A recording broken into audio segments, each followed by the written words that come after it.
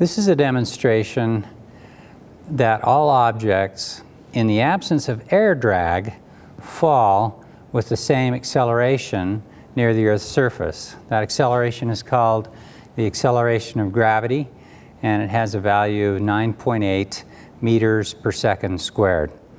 What I have in this tube is a dime and a piece of green paper that when I turn the tube over, you can see that the dime makes it down to the bottom before the piece of paper does. But if I evacuate, namely remove the air from this tube,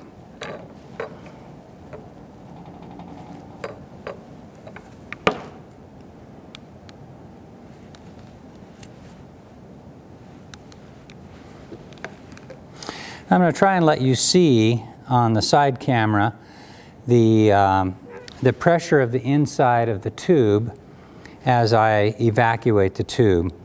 The numbers on the outside circle here represent the um, number of inches of mercury with atmospheric pressure being about 29 inches of mercury. 29 is reached right around here. We won't get that far, but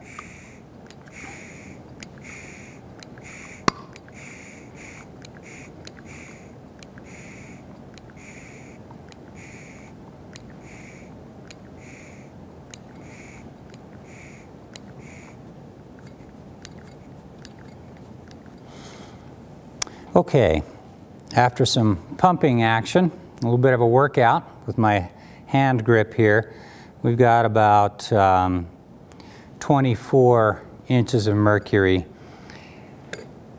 pressure inside the tube. Compared with, um, actually, I, the gauge pressure is 24 inches of mercury. So essentially, the effective pressure inside here is one atmosphere minus 24 inches of mercury, which is 29 minus 24 is about 5 inches of mercury. So what I will do, it's not a complete vacuum, but it should be enough to show what we're doing. I'm now going to close off this valve so that air can no longer pass through this pipe. Remove the pump and then try the experiment again. Same tube, same dime, same piece of paper.